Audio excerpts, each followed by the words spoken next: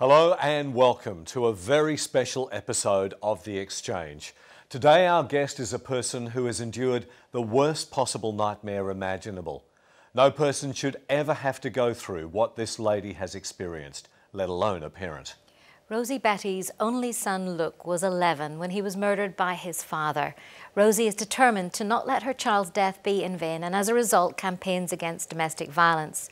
Today, we're extremely grateful to be joined by Rosie Batty.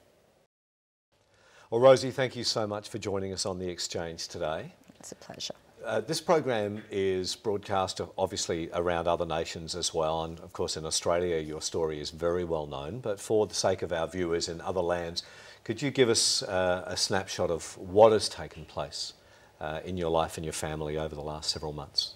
Um, well, actually, on the 12th of February um, of this year, which seems like yesterday on one level, but so many decades ago on another, my um, son, who was 11, um, was killed at cricket practice, and um, unfortunately, he was killed by his father, and who aimed, who hit him over the head with a cricket bat, and um, and then used a knife and this was um, just on a normal school night and um, on a normal summer's evening. And you were there at the time, but not in the immediate yes, vicinity? Yes, I, I was there. Um, Greg, we were protected by a, um, an intervention order and Greg was allowed to have access to Luke at this type of training and, and um, cricket training and, and, and, and, football. With that had been uh, um, uh, negotiated with the, the court. And um, so it was a normal cricket practice um, with kids and families around and everyone was had had a really great time. It was the Mornington Cup. It was a hot night. And Luke hadn't seen his father for a little while because we'd just recently come back from the UK. And he asked me if he could have a few more minutes um, with his dad alone to practice. And, and, and, and very quickly, a lot of the parents and children dispersed. And I, at the time, felt um, he was safe. I was close by and I saw no problem in him. And I guess as, as a mother being in a public place, mm. the, it's the last thing that you would be thinking of. It was the last thing. As long as I could keep Luke in my eyesight, um, I would have been concerned if Greg had taken him in the car or taken him somewhere. Not that I, at that time, believed Luke to be in danger of Greg. He'd never shown any um, intention to harm Luke. Uh, it was more that um, the intervention order prevented him from doing that. And I had reasons to be concerned of Greg's mental health and and I, I wasn't sure how Greg was tracking um, and whether he was depressed. And I had reasons to to fear that um, if if that was to eventuate into a suicide, I didn't want Luke to be at risk in mm. that way. So, you know, very clearly I didn't expect it to happen in that type of way, in such a public manner. And um, although I was quite close by, um, my view was obstructed by a toilet block. Wow. So just a little toilet block. I just happened to have I didn't actually see what he did. Did you know immediately that this was not good? Yes, and it's really difficult because obviously um, I'd never been in a situation where it's life or death before. Um, I've certainly never experienced shock and disbelief in the way that you do when you're in such a state of um, panic. Mm. And I understand more now after time, you know, uh, um, the police explained to me. And um, so I literally had just um, asked a friend to come over for dinner. I just got off the phone to her, just about to go and get Luke. Um, as I say, I felt I knew exactly where he was. He was in a safe place. And all of a sudden, I heard a, a, a very kind of a loud, anguished wailing sound that um, I immediately knew something was wrong and looked up and saw that it was Greg. And he was bending over Luke, who was prostrate on the ground. And so I knew from the way that Greg had um, emitted this sound that mm. something was terribly wrong, and Luke was obviously unconscious. And my brain, the sense that my brain made of that was that Luke, Greg had bowled a bowl too fast to Luke and knocked him mm. unconscious. And so I felt I needed to go quickly to get an ambulance and that time was imperative. So I started running towards the clubhouse with my mobile, which was in the opposite, you know, direction, realizing that Greg would be comforting Luke and making him safe. And it was imperative for me to get an ambulance, so I ran um, and I found myself panicking so that I actually couldn't dial. And I came across another parent who was still there um, with his boys, um, and he helped me by calling the ambulance. So even at that point, you did not think that no. Greg had actually killed him. You, you, you thought this was an accident. That's right. I think, um, and so did the gentleman that was helping me. You know, it's it, that's the logical conclusion mm. because mm. the you, you, your brain can only think mm. in what you can make sense of.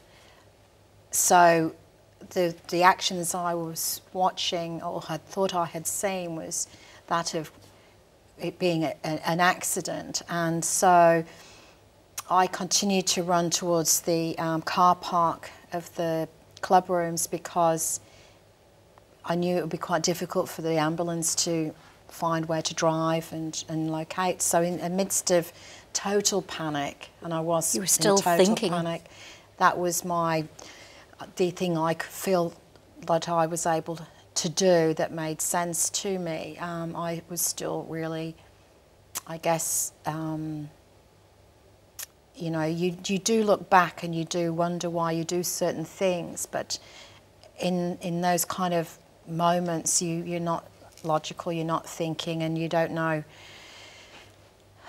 what you're doing really, but that's what made sense to me, and, and I think it was sensible, you know. Somebody was, Greg, I thought, was comforting Luke. Cameron was um, calling the ambulance. I was running towards where the ambulance needed to be guided because I felt that it all, you know, when you've got a serious injury, time is critical. Time, yeah. At and what then time what, mm. did you realise that it was, was a very different shocking. story. I, I, my friend came uh, because I was really saying, this is bad, this is really, really bad. I know this is really bad. And I, I was too scared, I was really scared about what I was going to have to face with Luke's injury. I was really scared about what they, that might mean, if it was a head injury or something of that nature. And so I was trying to kind of stop my panicking and so we went, my friend was comforting me, and we, we went to, towards the ambulance um, to, to try to work out what was happening. And um, at that point, I saw the police aiming a gun at Greg, and I was I, trying to make sense. I, I had no idea. I had absolutely no idea that anything was going wrong. Um, and um, I thought because they knew he needed to be arrested, they were choosing to arrest him then. And I was thinking, oh my gosh, you know, you need to be focusing on Luke. He's injured, not this silly mm. carry on. So that was my first response, and um, I was asked to move away. And then I heard the shots of Greg being killed or shot. Yeah. And as I said, you know, if, unless you've been in this kind of situation, you really are not yourself. You really are mm um, you know, you, your brain is not working, it's not catching up with reality. You're trying to make sense of things, you can't understand things, you know, and, and the same for the police. They arrive thinking it was an accident. Yes. And the next minute they're having to shoot somebody who's coming towards them with a knife and making a quick decision. And, and you know, that's not what they had planned to do as well. So, you know, even, and, and the ambulance people, they came again thinking it was an accident and they're greeted with someone who's brandishing a knife and clearly. Very different to what they Yeah. were thinking. Backtracking a little bit more, Rosie, what was life like for you uh, when you and Greg were together? Um, tumultuous. I think um, what I would say is that um, it's very difficult to describe a relationship really that's that was so up and down. And and I would say that um, you know I had my own house. I I worked. I was independent, and Greg was in my life, but he, we didn't live together. And I wouldn't have described him as my partner. I wouldn't have described him as my long-term boyfriend. I would have described him, I, he was somebody that was important to me, that I cared about, that I was attracted to. And I guess at the time, when you look back, I had moved back from Sydney after being away for a few years. I was tr- trying to re-establish myself, um, and I was living quite in a quite isolated area, which was in Menzies Creek. And so I was feeling a bit lonely, and I, I, bumped, I met Greg after um, knowing him several years earlier. And so I was really kind of pleased to reconnect with him. He was, he was funny, he's quirky. Um, he was extremely helpful with me. I'd got a, a property that needed a lot of work, um, a lot of outdoor work um, on acreage. So we worked a lot on that property together, and he was great.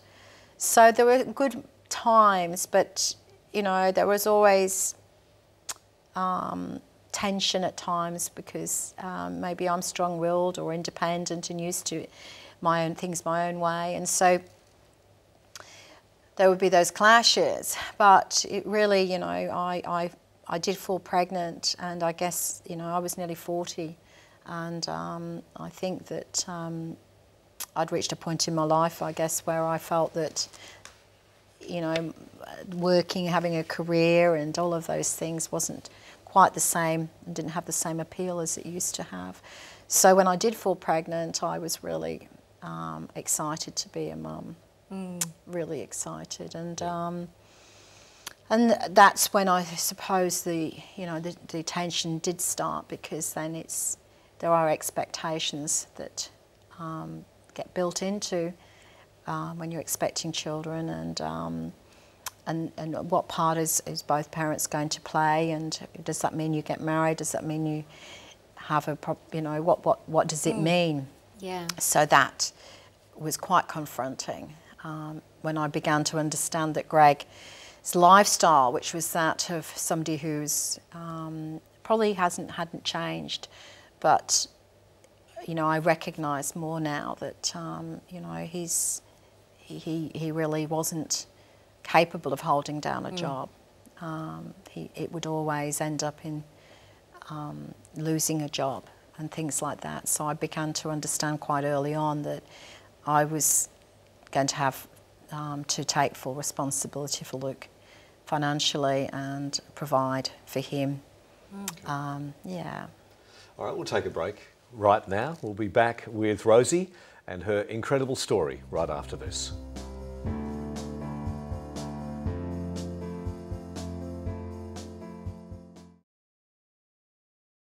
I'm here because of Luke, and I'm here because one in three women is affected by family violence, one in four children.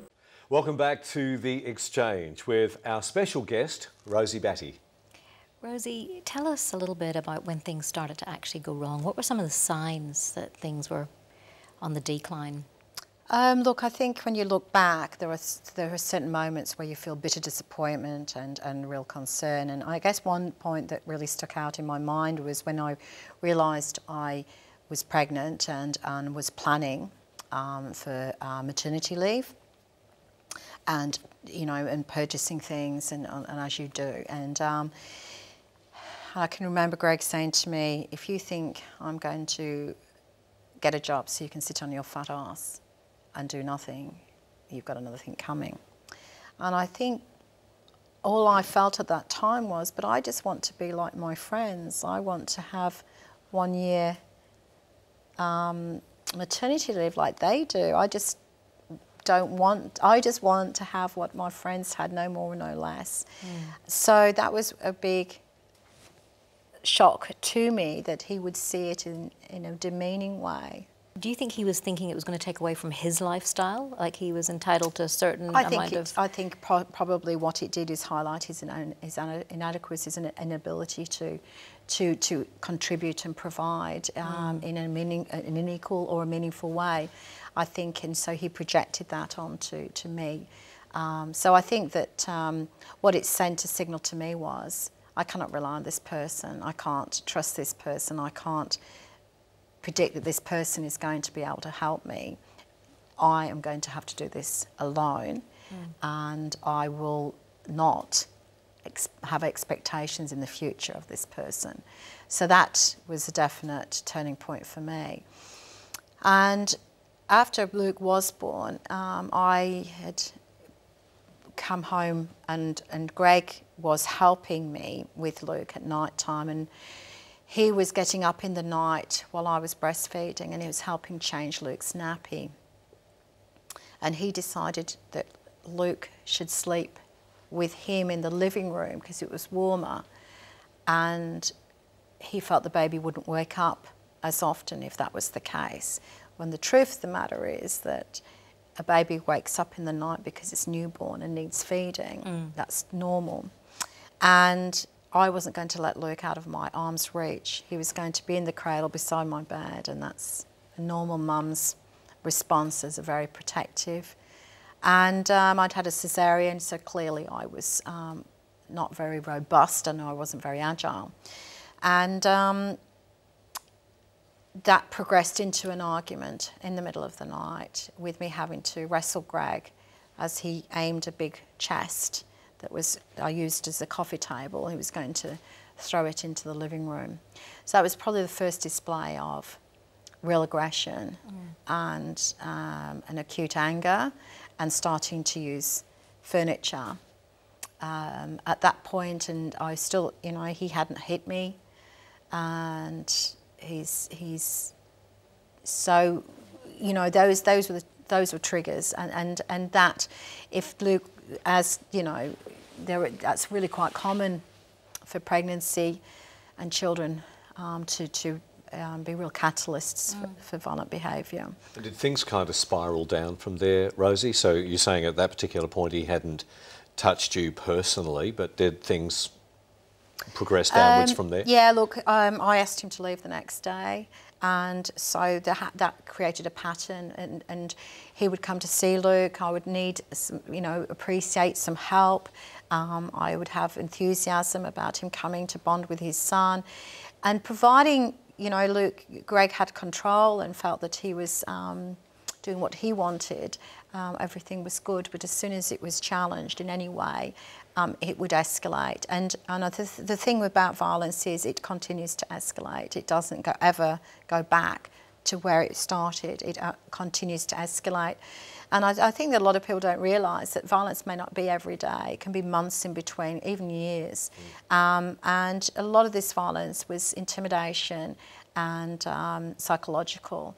It, it wasn't physical. Um, and so, you know, I suppose when I also look back, there were lots about violence that I didn't understand at the time.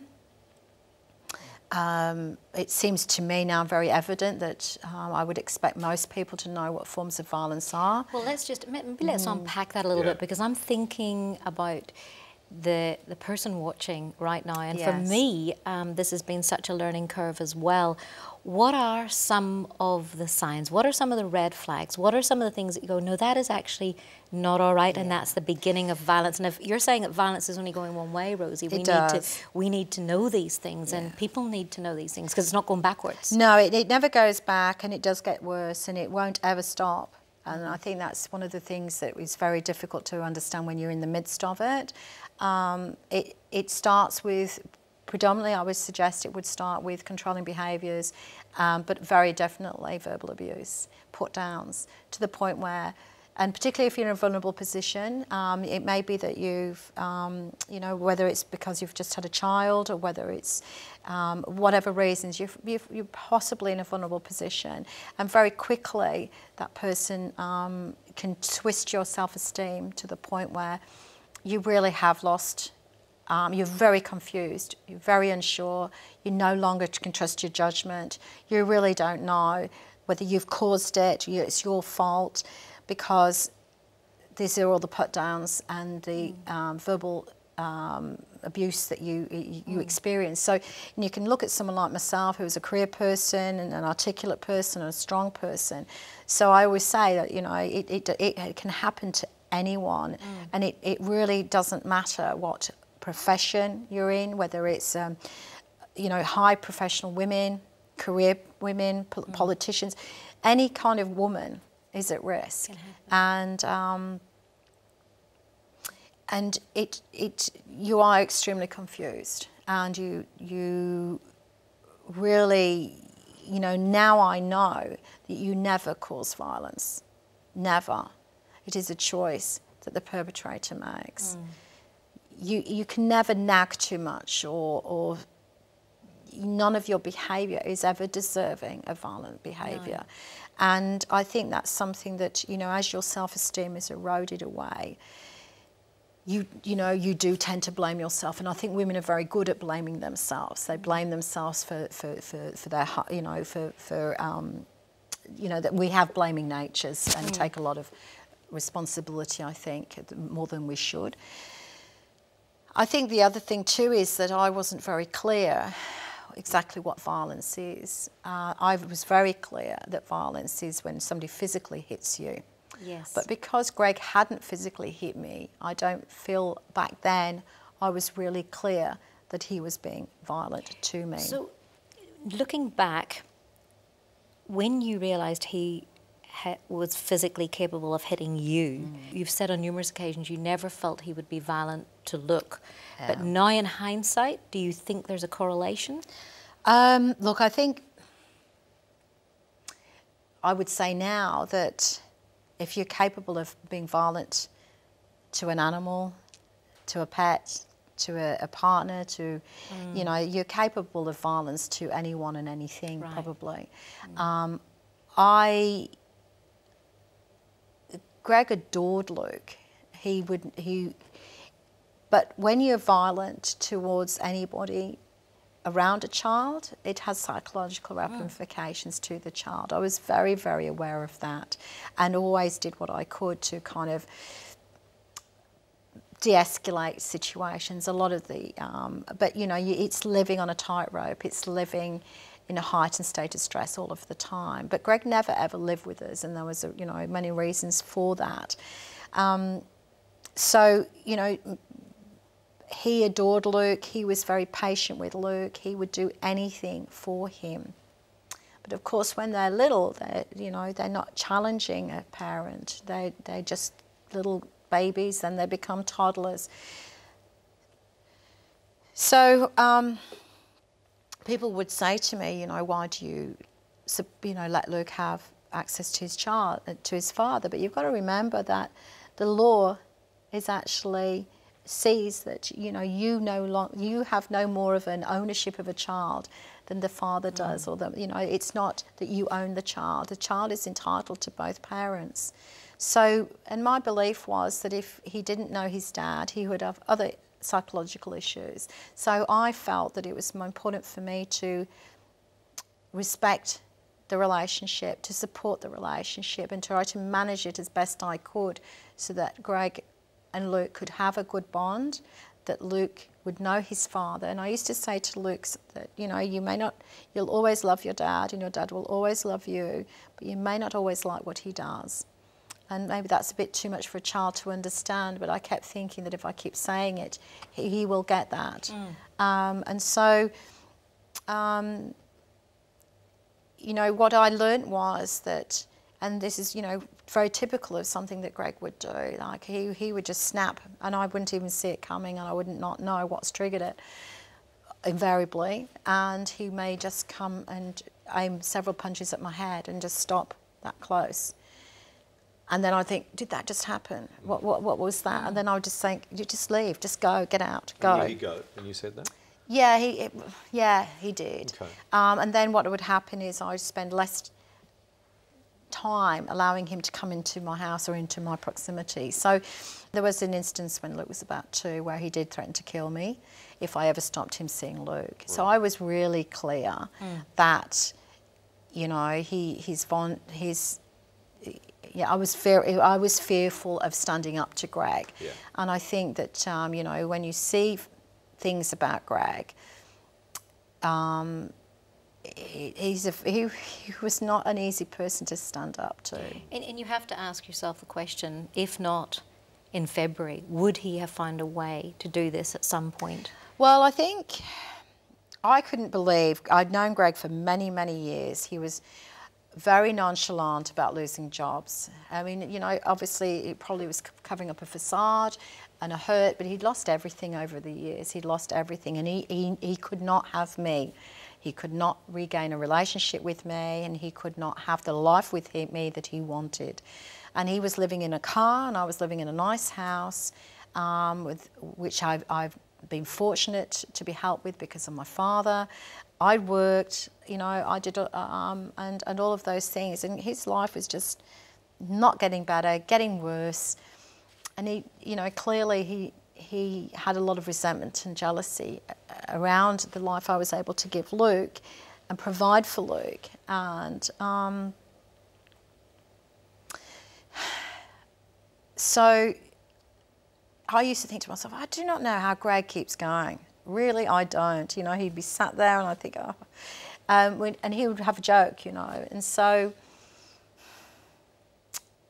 it was like I always expected that this is, it was always going to be like this. And, um, and I, I really think that making him accountable and going through the court process really exacerbated the situation. It's a really difficult decision to make Yeah, I can imagine. a really difficult one because you don't know, you know, and I, I, I think people really, really underestimate that when you do do that, you're really, you're really liable to inflame Yeah.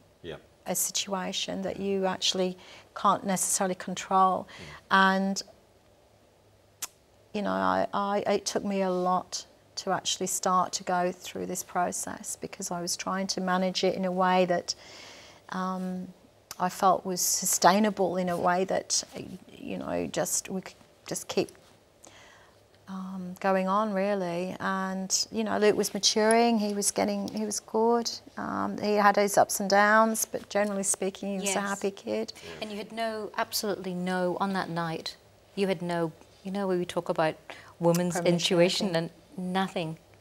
No, and, and, and I suppose that's the unfortunate thing, you know, with the systems that are in place.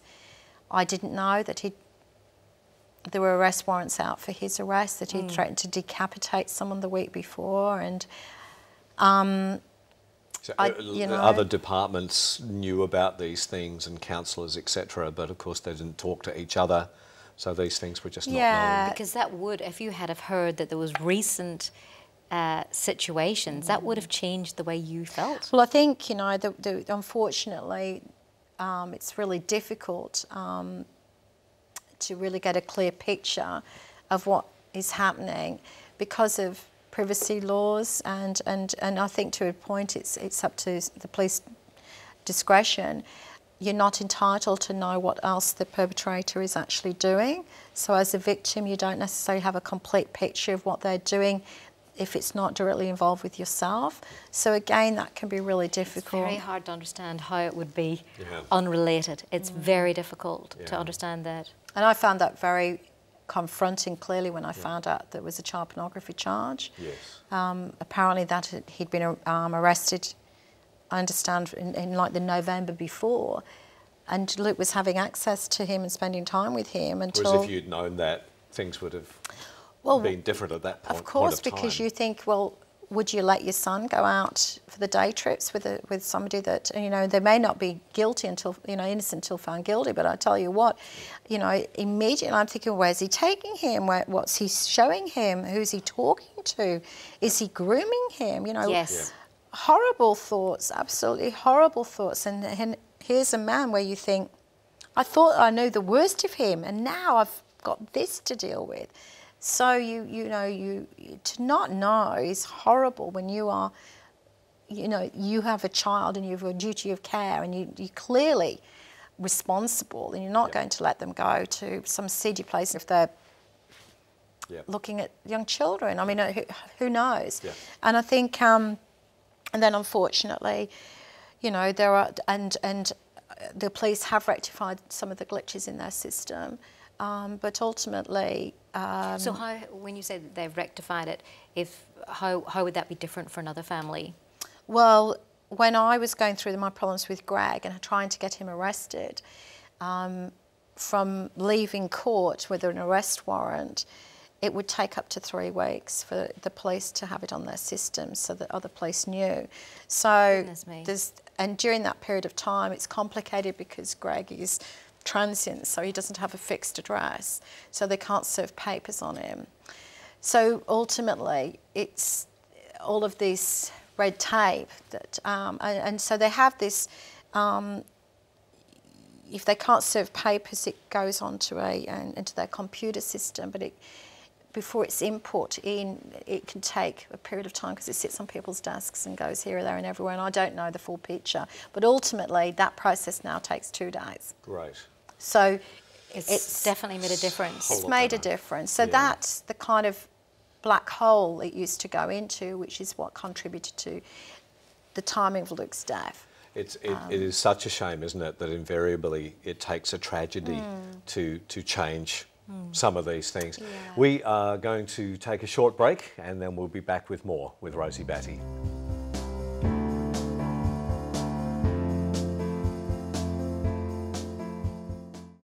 Luke had been injured. I thought it was a, an accident. I had no reason to think it was otherwise. Luke was the only bright light in his life. Family violence happens to everybody, no matter how nice your house is, how intelligent you are. No one loved Luke more than me. Welcome back. We're joined by Rosie Batty, who lost her son Luke to domestic violence. Rosie, uh, you know, the nation was very much with you that next day after Luke was murdered. And all of us were ho- wondering how can you stand in front of the cameras? How, where did you get the strength? How it was such an inspiration. Wh- Yeah. What was going through your mind at the time?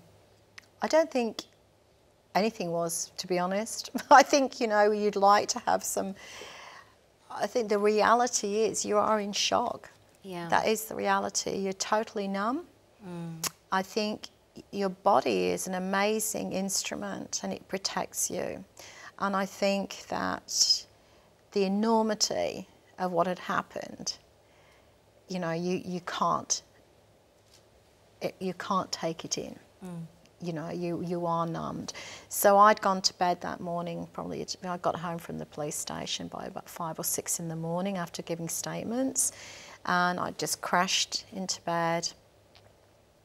I was still in the same clothes. I, um, and uh, you know, and I woken up and my house was full of friends and people, and I heard at some point, and I couldn't even tell you what time of day it was that I did go out to speak to the media. I, I really, I can remember doing it, but I couldn't tell you whether it was morning or night because it was very hot, and I can remember hearing people talking about um, the media and they need to tell them to go away and. I found that people had started and continued to do so, making decisions on my behalf because they're trying to protect me. And I, resi- I, uh, that was the first instance where I was quite, of, you know, very assertive in that I, I've, I'm still capable of making decisions for my own, um, for myself. And I felt if anyone was going to tell the media um, to go, it would have, it would be me. So they all kind of said, "Oh no, you can't go out." And I'm thinking, "Well, what is likely to happen to me? Yeah. You know, really, it's not like you know, realistically." So I did kind of go out there and. Um, with no agenda, no pre-thought plan, no pre-thought speech, nothing. Um, just to nicely ask them to perhaps respect my privacy and go. And You know, when they asked me if I'd like to say a few words, I, I can't even quite remember. Um, I think they were all as surprised that um, I could articulate. Yes. And um, as I say, I think part of that is I am someone that talks a lot normally. I think you are under shock. And when I look back, you know, the reason I was so calm, the reason I was so concise is because you are in shock and you, you really, your brain is not thinking quickly. And the reason I could articulate well was because I had studied family violence in my diploma. I knew the myths about family violence, the statistics of family violence. So somewhere from within, I was able to say drew on all of to drew on that, and um, and I've been really pleased that what I did say has really resonated, Mm. because I keep telling people that one in three women is affected by family violence, and that's a huge statistic. One in four children is affected by family violence. That's little boys, little girls growing up affected by family violence forever. You never ever recover completely. Mm. It has and it leaves an indelible mark on you. Mm. But the most damning statistic as well is that one woman a week is killed at the hands of family violence Every week in Australia. in Australia, one woman a week. So when you look at that, and if you, you know, and what what is still incredulous to me is the general public still don't know that. The media No, don't know that. Absolutely not. So we know the de- death tolls on our roads. We hear about other tragedies and other society, um, you know, things. But why don't we know these statistics? Why is it that we are so, as a It's like culture, we sweep it under the carpet. and yeah, just why are we so ambivalent to this exist. huge problem? And why is it that we have never really been told about it or gone out of our way to learn about it? And is it because we do assume that it happens to other people, that it happens in rough neighbourhoods and to others but not us? And I think that was profound to people because what I was able to say, and I can, and I've been able to demonstrate, it happens to all cross sections of the community. Mm. You can be famous, you can be um, old, you can be young, you can be intelligent, and you can be um, successful. You can live in nice neighbourhoods. It, it's everywhere. Yep. And, um, you know, there are so many people, so many women living with their kids in fear. And what you find is people are critical of the woman. They judge them constantly. They are judged by their families, they're judged by their friends, they're judged by the police, by the court systems, they are judged by everybody. Judge for what, Rosie? Because when I when I listen to your story as a mum, Hmm. uh, I've got one of Luke's little Oh, little have things on today, and I think you were gracious. I think you were compassionate. I think you had look and only look Hmm. In the forefront of your mind. I think you're the most selfless woman, and I find it incredibly difficult to think that people would judge because nobody knows what happens behind closed doors. No, and you the- made a choice for yourself. Yes, but the judgment is, again, um, why would I let Luke see Greg? Why would I support that relationship? Knowing all that you knew Yeah, and, and- and so you've got either way, either way, the and whether it's not intended criticism, but it's questioning. You're questioning your role all of the time. Who the hell's going up to Greg and saying, "Hey, mate, why are you acting like that?" Yeah. this isn't good enough. Yeah. Why are you not being made accountable for your actions? Mm. So I'm defending my decisions constantly to everybody. I'm still doing that actually. Really?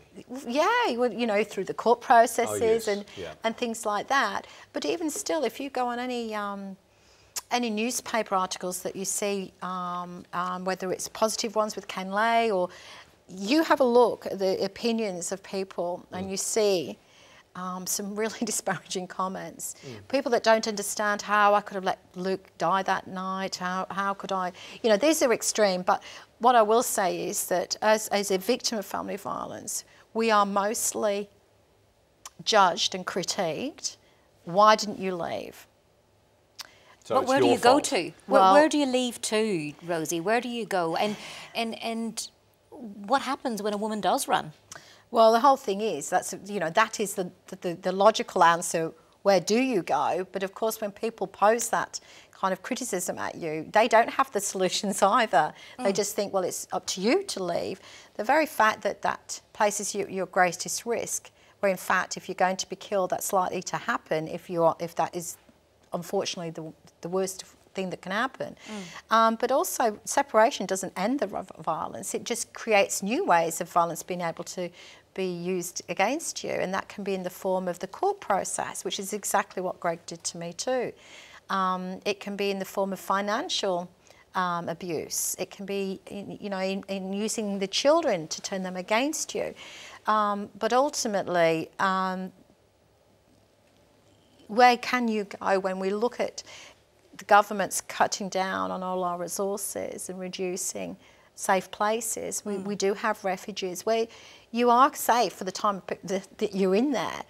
But then where do you go when housing is, is more um, the cost of housing is, is, is out of reach of so many people, but it doesn't still mean you're going to be safe. So the, again, the onus of safety rests on you to either disappear and live an anonymous life or actually um, having to have false identities and move overseas, which is what the Women's Crisis Service help people to do all the time. So the perpetrator continues to live in their own neighbourhood, probably hold down their own job, continue to drink with their mates, do what they do. And the woman has had to uproot all her mm. network of friends, the children. You know, at the end of the day, my big, if I have a regret, and I don't think it's, there's much point in regret because you make the best decisions you can mm. with what you know at the time. But if I'd have had to move back to England, it would have been good on one hand because I was close to my family. But Lou wanted his, you know, he's at school, his sports, his clubs, his friendships.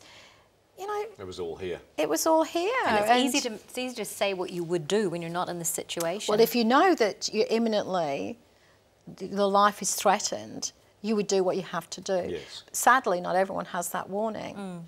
Mm. But it's, it's if you have the warning. And I suppose I look back at the history of violence with Greg and it was heading onto a collision course over the last 12 months. But no, did any of the professionals that were in your world in any way warn you that this is escalating, this is a problem? No, because unfortunately, um, uh, at this point, with the the services I was linked into with my situation, no one joins those dots. So organisations work independently of each other. They look at minimal risk rather than the potential for the worst risk mm. factors. They don't necessarily, they're not able to necessarily look at what might happen. They can only do something when something has happened. And unfortunately, my thoughts are that, you know, Greg was a violent man, and I think when the police arrested him, they could see his violence was escalating. But what do you do with somebody? You know, our, our mental health system and our support for mental mm. health is grossly inadequate. Um, and, and again, I've learned only recently that know, there was a description by one of the police that said of Greg, he's bad, not mad. And I thought, oh, you, you know, I, am quite clear he had mental health issues. I've, I've known him for 20 years and mm. I know he did. But of course, you can't force someone to have inter intervention. So, what do you do with someone that does not engage with GPs, that does not. So, he's never been actually diagnosed? No, and he's no. not going to, because he suffers from paranoia, he's yep. never going to actually go to um, seek help.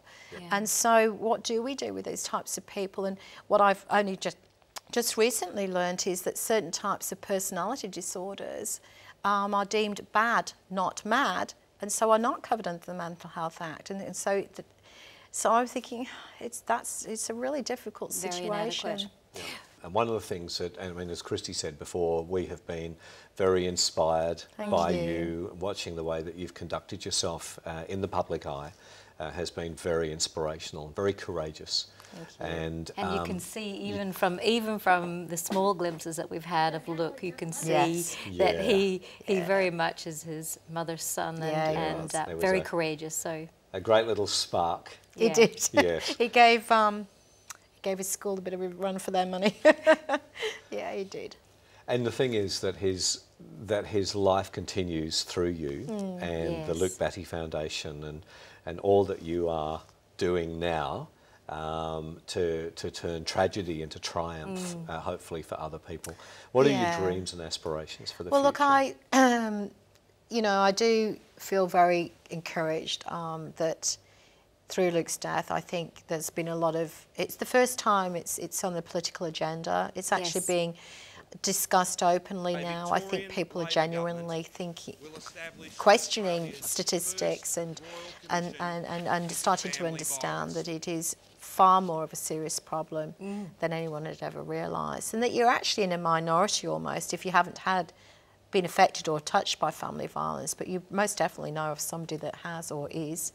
And at this point there were you know, there what I would really like to see is community attitudes changing so that we're actually holding perpetrators to account and actually challenging them with their behaviour. And in the meanwhile, showing compassion and empathy and, and, and, um, and assisting people who are living in. How, Um, how can we assist? I mean, I, I'm in a situation at the moment where I've met a very serious Mm. situation, more serious than I've ever experienced before, where this person is fleeing for their life. And uh, they've experienced extreme um, violence to the point where they were unable to walk, and yet this person is still not behind bars. Um, how do we support the person? I think by not judging um, and being a true friend, by being a true, um, you know, just showing people that they care, that they believe them, that they don't judge them, that they know that they haven't caused it, and they have a right and, and are deserving to live a safe and happy life. That Yeah. should. It's a human rights issue, you know. Everybody deserves to live, and I really think that you know if you have friends and family, um, you know, you need to make sure that they're linked into um, a family violence organisation um, who can give them the correct support um, and advice or, or um, assist them with the choices they can make because it is very, very complex. And, um, and it can be sometimes that they're.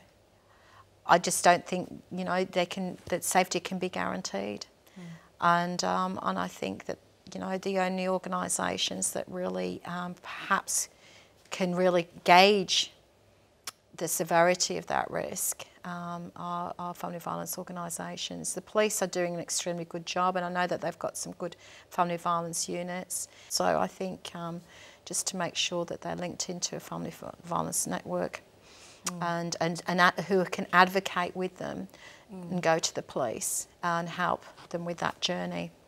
That's good advice. And as for holding people accountable who are the Yeah. perpetrators of violence, uh, that really should be the role of all society, I would think. I mean, if I knew of a man who was being abusive in some way to his wife and threatening to his wife and children, um, I and other men around uh, would step in there and, Yeah. and do what we can do.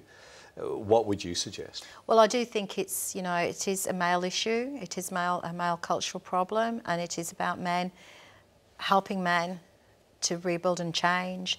And instead of thinking it's not my business or well, he's a good bloke, I don't know, you know, he's a good bloke in other ways. When he's and with me, he's a good bloke. Yeah, Yeah. or you know, and also, alcohol is not an excuse. Um, drug, you know, it, it, violence is a choice. Alcohol doesn't help. Drug addiction doesn't help, but it doesn't They cause would inflame, violence. wouldn't they? But there's It inflames, but here. it doesn't cause it. And I think that, um, you know, and in the past, and it's understanding that there are many forms of abuse. That it's not just punching around after you get home from the pub. That it actually can be financial, it can be sexual, and it can be verbal. And so I think that quite a few of us have sometimes sat on the sidelines and thought, I don't like the way he handles his family. But you can have for a peaceful life, you try not to interfere. Um, yeah, so I think that you know it, that that's not always an easy choice to make, but I do think that you know there are certain environments where um, where you know instead of choosing not to, to say something, perhaps you'd have an inner dialogue and consult with friends and family members and start to say something. Yep. And just say, in the end, mate, you're letting us all down. Yeah. That's not. That's just not on. Yeah. Just finally, what's in the future for Rosie Batty? What would you like to see? Well, I'm. I really don't know. To be honest, I kind of don't look too far ahead because it still overwhelms me that Luke isn't in those plans. But um, I've got a trekking holiday booked in India, um, and I'm hoping to go to America with a friend. So I'm, I'm looking at doing some things that um, are things I couldn't do and wouldn't want to do without Luke, but I can now do. But most importantly, um, the Luke Batty Foundation, um, I'll continue to build that and look at what we do to continue to help women and children affected by violence. That gives me my meaning, my purpose, my direction.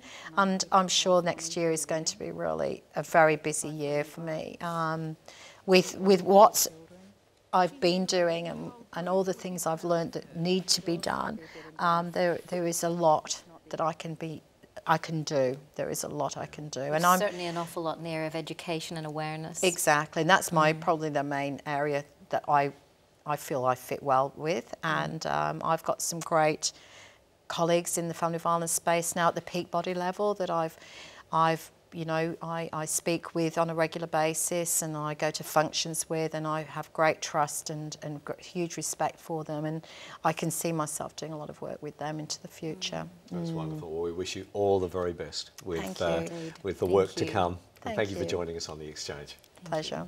And thank you for watching. Please go to our website for a fact sheet as well as more information about this show. Hope you can join us next time. Bye for now.